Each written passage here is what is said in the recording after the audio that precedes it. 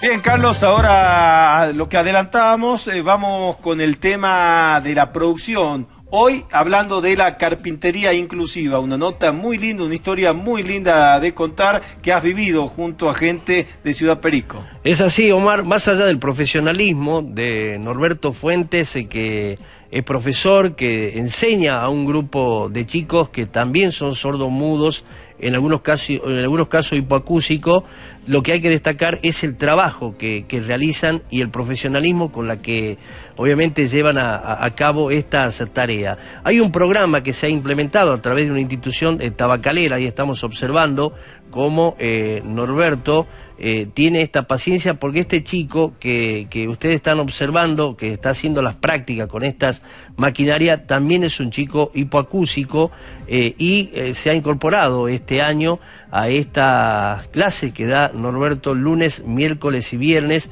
en el Centro Interior Comunitario número uno que funciona en Ciudad Perico. Acá hay un trabajo conjunto de una institución tabacalera, de un consejo consultivo de la discapacidad que está a cargo de la licenciada Luciana Rivetti, que realmente trabaja muy bien porque ya hace dos años que está este, este tipo de enseñanza que se hace, obviamente, en Perico y con chicos que tienen, como insistimos, ¿no? hipoacúsicos, sordo-mudo, y también algunos oyentes que deciden tomar estas prácticas por Norberto, a quien consideran como un excelente eh, profesional. Pero ¿qué te parece, Omar, si primero compartimos esa historia? Yo considero que es una historia de vida de alguien que desde muy chico eh, tenía esa tendencia de incorporarse a la carpintería. Pero claro, ¿cómo iba a ser Norberto en los años 90 si este, no había tanto lenguaje de señas, si en las instituciones educativas no se incorporaba eh, a este tipo de, alumnos? es decir, que eh, siempre encontraba eh, algunos obstáculos que muchas veces le era dificultoso poder conseguir sus objetivos mientras seguimos observando cómo trabajan. Hay mujeres hipoacúsicas, sordomudas también, que van a estos talleres que están en Ciudad de Perico. Pero me gustaría que escuchemos primero la historia de vida de Norberto Fuentes eh, y después quiero hacer eh, algunas acotaciones porque esto viene muy bien para aquellos jóvenes que obviamente tienen todas las posibilidades que son eh, normales eh, en la vida, pero que muchas veces no saben aprovechar. Y muchas veces se quejan de nada. Exactamente. A ver qué nos dice Norberto. En realidad no él, sino su señora que lo estuvo acompañando y que además es traductora porque son casados hace 13 años.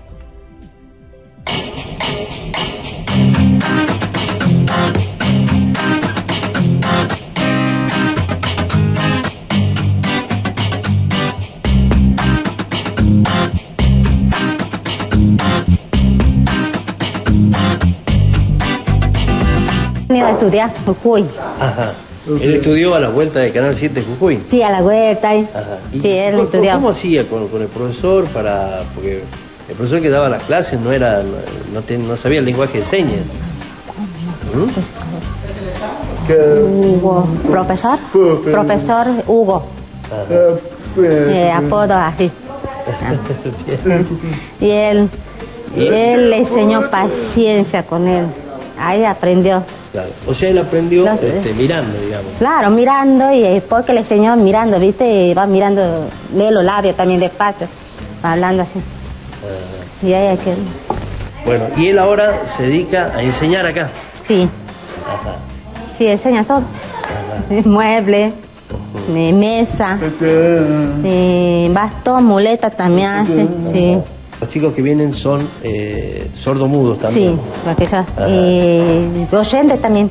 Ah, oyentes también. Sí, él te va mirando para ver si está bien. Ella bien, la alumna, pero aprendió bien a cortar máquina. Va mirando.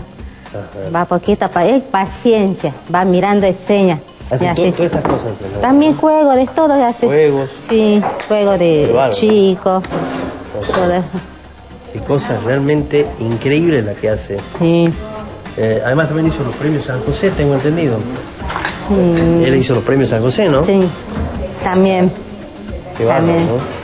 Todo que hace, todo. Dice, ese banquito. Sí. Ese banquito. claro, ese para la abuelita mayor o Para la abuelita mayor este banquito. Claro. ¿Viste cuando van a banco a veces se cansa para? Ah. Cansa parar. Van, a- ah, van al banco y... No sé, a veces cansa parar y así no la agarra para sentar asiento. Colectivo, parada, espera, a veces cansa. Eso lo inventó él. Sí.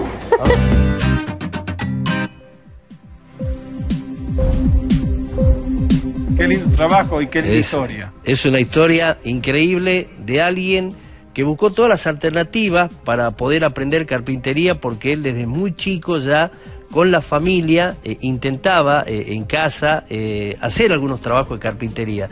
Y después le dijeron, podés estudiar acá, cerca del Canal 7 de Jujuy.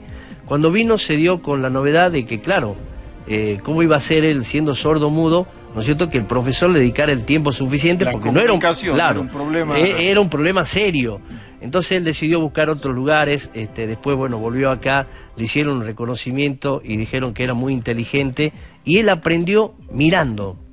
Él observaba, eh, nada de que eh, tantos centímetros, eh, es decir, no escucha, una persona que no escucha y que no habla, no tiene muchas chances de aprender como una persona común. Pero la voluntad de él llevó realmente hacer este, cosas increíbles. Ustedes vieron esa, esa eh, tipo silla que, que él este, hizo un invento.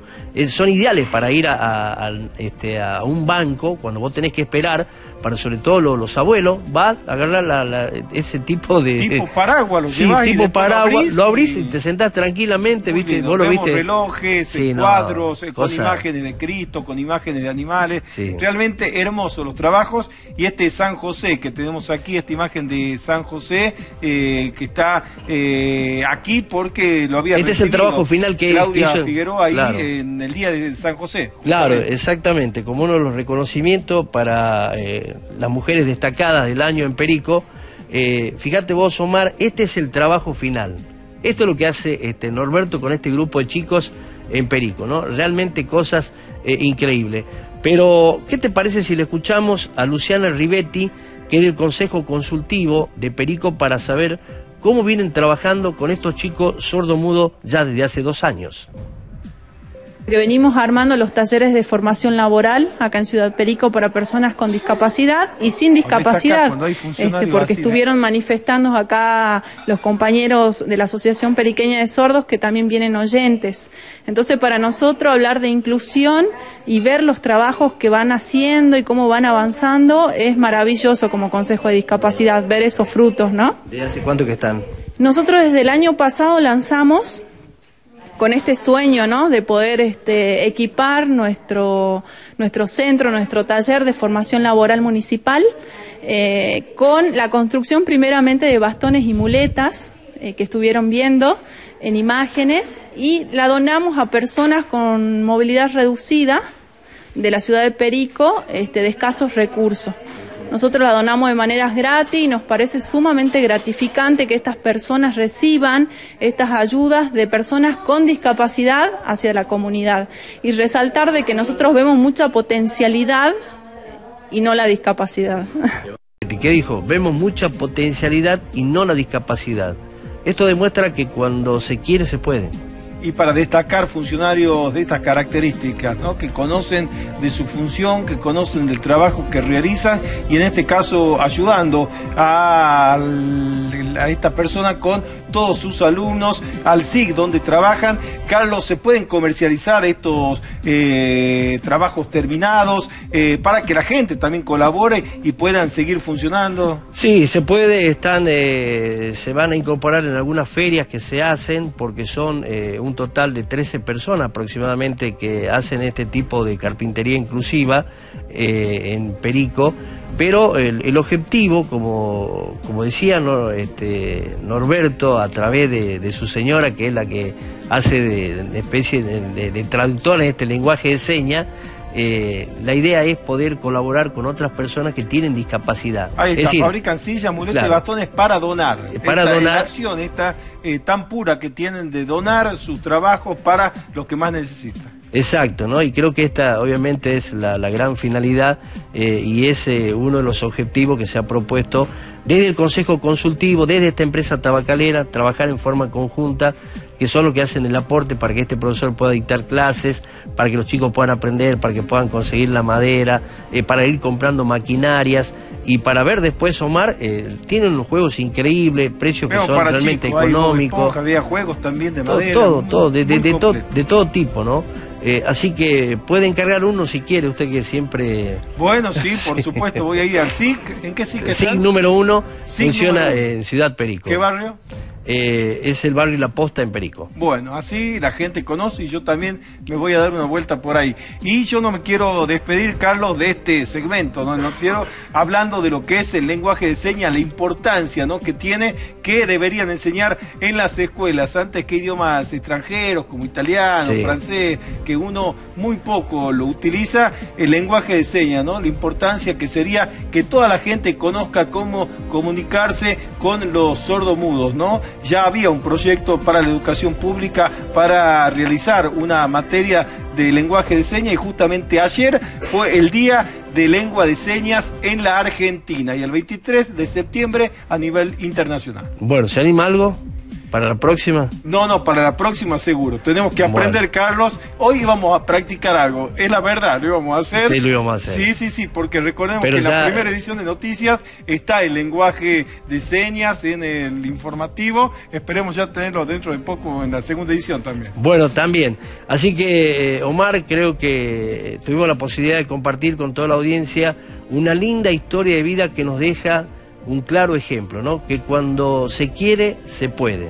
Bien. Que creo que esto es lo más importante. Gracias, Carlos. Y antes del cierre, hoy veía también el informe de Ciudad Perico, degustando algunos productos ahí. No me trajiste jugo de frutilla, un jugo light de frutilla. ¿Cómo era? Un...